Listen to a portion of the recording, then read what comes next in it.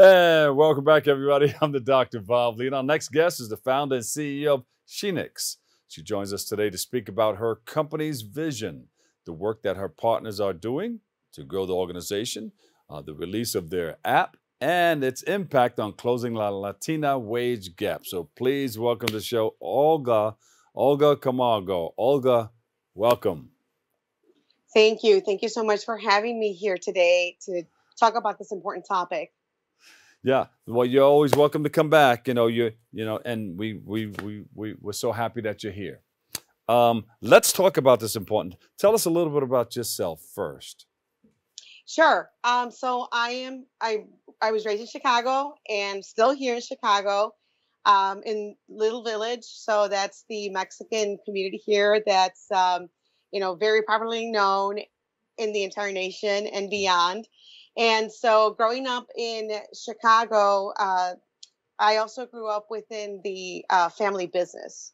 And so growing up in the family business, I got to learn a lot, uh, becoming a future business owner, um, a lot from my mom. That was mm-hmm. my first mentor.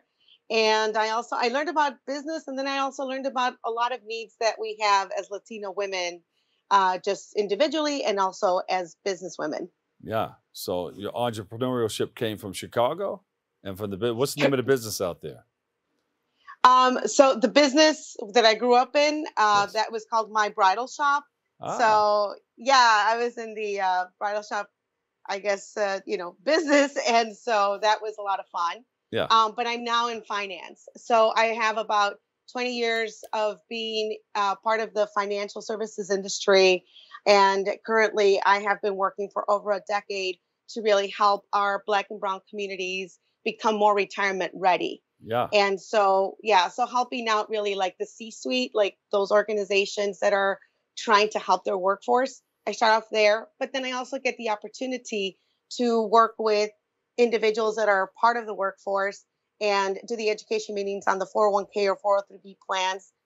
But when I'm getting questions, they're not necessarily always about retirement.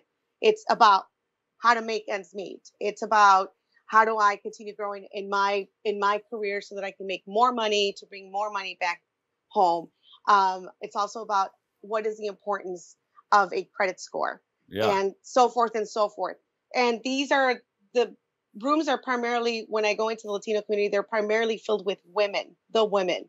And it's not just the women that are actually basically within the employee at the employee level, it's also with the women that are included within the executive levels. Yeah, and with that wedding business, it helped prepare you for a whole lot because within that world, you had everything under one roof. You know, you had the yeah. well, you had the the videographer, the photographer, the DJ, the booking of the room, the everything that comes with the food, everything that comes along with it.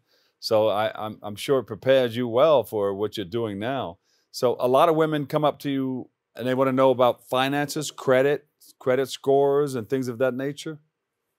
Yes, and also knowing um, some women, as you know, um, a lot of women are sometimes underemployed. And yeah. so even if they are employed, they're probably not making enough. And this is where that wage gap comes into play. Uh, you know, working more than nine to five jobs, that's reality for many people, and still not being able to make ends meet at the end of the week. So they have to sometimes, for women, especially Latina women, they also have a side hustle.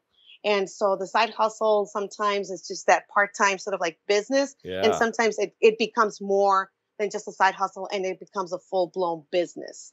So this is where now they're thinking, okay, so I'm making money. Um, I still need to be able to make ends meet. Um, but I also need to know how I keep that money. And so just because you know how to earn the money doesn't necessarily mean, right, that you know how to spend the money or it. save the money Right. yes, that's exactly right. It's it's it's reality. Yeah, yeah. So then you started uh Shenix. Tell us about that. What what is it all about? All right. So when I th- when you think about Shenix, Shenix, yes, you got it. Uh, when you talk about Shenix, it's about um, women, more Latinas entering the workforce. Ah. Um, it's a, yes, it's about also it, when you think about those trends, right? And what's happening now, plus those trends in terms of like how they're going to continue to grow in the workforce. It's it's uh, estimated by 2028, uh, uh, Latinas will constitute about like 9.2% of the entire workforce. So when you think about that, working more just doesn't necessarily mean you're actually moving yeah. up in your in your in your financial objectives or that you're actually doing making happen what you want to happen right so we started thinking about we know that this is a reality now. What does that mean in the future? And what can we do right now to be able to have latinas be better prepared so that when they go into the workforce they're coming in understanding hey i looked for this position and i did my homework and i know that i'm getting fair pay right? So we want equal pay um, and that's what we want to be able to start latinas off with uh, yes and then we talked about those other items like i said in terms of like understanding all those other um, you know a credit score why is that important um, also understanding what's going to help yeah. how does that help prime you for a future home and so forth we also want to at the end right when, once they're actually gone through those more yeah. critical steps and setting themselves up uh, also with an emergency fund for example then we can start talking about okay let's talk about investments beyond obviously retirement savings yes yes yes yes and that rainy mm-hmm. day fund the whole nine now you started an app talk about that app well, the app at this point is web based. Uh-huh. And we know that uh, what we're trying to do next year is we're going to actually try to also make it available on the phone. But we couldn't wait to make it available on the phone and not address the issues today. Mm-hmm. So, people, we had just in less than two weeks of just like sending out through um, myself and my other two co founders, Patricia Mota, who's there in the red, and um, Juan Carlos Avila uh, we decided that we would go ahead and send out just a waitlist app, like sort of like announcement, uh-huh. hey, it's coming, who's interested. So in less than two weeks, we got 250 Latinas to show up on that on that le- on that list, and it was just very much telling of yeah how much this this was needed. I was going to ask you to give them a shout out, but you just you you hooked them up. You hooked them up. Um, tell us about the the Latina uh, Equal Pay Day. So Latina Equal Pay Day took place this year on December 8th. And I remember um, about six years ago, I was actually talking a little bit about the Latina Equal Pay Day at an event also in New York. That was six years ago. And. Latina Equal Pay Day back then was November 1st. Ah. So six years later, here we are. Um, so now Latinas have to work an additional more than a month, right, to still get the same pay that a non Latino white man would be making. So close to two years that she has to work mm-hmm. to be able to get that same pay. So that people say like, well, you know, they just need to do more and you know it's it's it's their problem, but it's not their problem.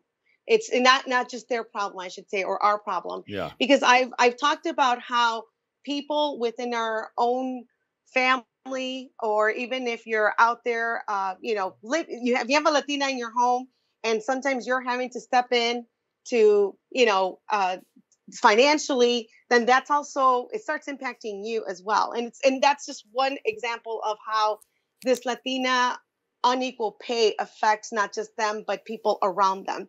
So think about if they do have their equal pay, not only do you not have to step in, they might even be able to lend you something, right? So that's right. We just you got to think about you got to think about it in both ways. Yeah. What are some of the future plans for Shenix? so our future plan. Uh, and then give me a website and, and social media. Yeah. Sure, sure. So um, next year, again, we are going to be launching our our um, fintech education app there um, it is, the big launch. The big launch. There We're ready. There it is. Yeah. but we did. I mean, this was our little pre-launch at this point. But uh-huh. again, people people are are making. Um, you know, they're thinking about like, wow, I I didn't have this before. Mm-hmm. Uh, there are some nice freebies on that um, on that uh, web-based uh, app. You can get um, right away. Just answer a survey uh-huh. that allows you to get um, an immediate response in terms of like, here's what oh, our great. suggested budget would be, and uh-huh. it's all free. And then you also get access right now to some of like the items such as like if I'm at work and I'm supposed to be, uh, you know, uh, selecting my health savings uh, plan. How, what does that look like? How does that work? Yeah. It's all explained on there through some of our videos already pre-recorded. It's all on a website. Everything's on a website. It's all on the one. So, and the SheNix app, yeah, the SheNix app website is SheNix, S H E N I X dot A P P. Well, we thank you and your partners, Juan Carlos Avila. Uh, he's the president um, and CEO and co-founder, and Patricia Mota, right? The co-founder. Yes, I'm. Uh, yeah, so I'm the CEO of SheNix, and and these are both my co-founders. Thank you so much, Olga Camargo, founder and CEO, SheNix. Thank you so much. We appreciate you. Thank you so much. All right. We'll take a quick break. Bobby C. He's up next. He has the latest in the world of sports coming up next on Open.